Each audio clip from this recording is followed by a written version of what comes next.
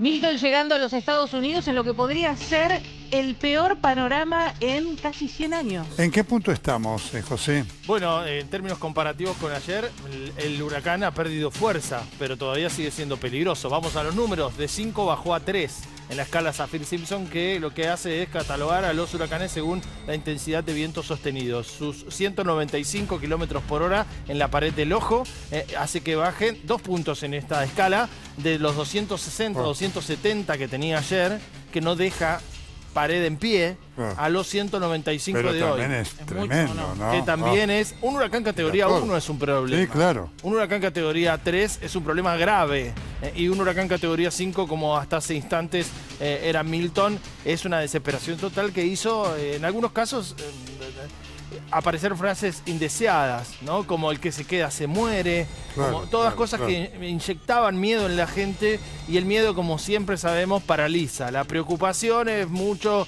menos satisfactoria y da menos resultados que, la, que ocuparse de los problemas, en este caso de las evacuaciones. Pero bueno, hubo muchas frases realmente que, que despistaban a aquel que tenía que tomar decisiones. Bueno, había colegas tuyos en la televisión. Llorando. americana llorando, así que... Llorólogo llorando, obvio, ¿no? sí. Sí, sí, raro, ¿no? A la hora de dar un mensaje Sí. a alguien que está esperando y confiando, esto es, eh, lo hablábamos más temprano, como que el piloto del avión te dé un mensaje de qué hacer llorando. Claro, claro. Es, es realmente contradictorio, por lo menos desconcertante. No, y en, otro, y en otro momento también lo que fuería el comparativo defensa civil Mm. aquí en la Argentina diciendo sáquense una, el que se queda, sáquese una foto Sí. Sí. y, y ponga su, su nombre porque van a ser cadáveres.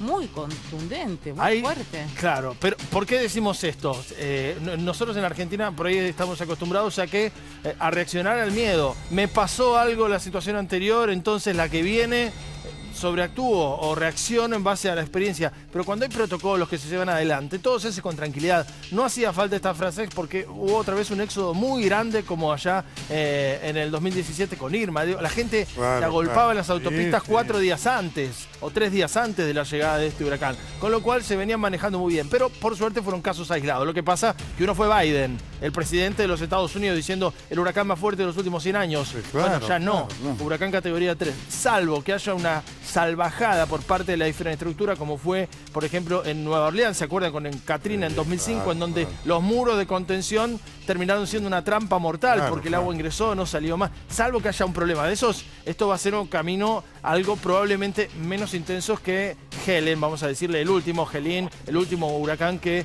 afectó apenas algunos kilómetros más hacia el norte que este hace menos de 10 días. Mirá. Eso si se quiere sí es algo importante para destacar. Dos eh, huracanes mayores eh, amenazando la costa con muy pocos kilómetros de diferencia. Correcto, nos Esta vamos. noche llega, Sí, ¿eh? correcto. nos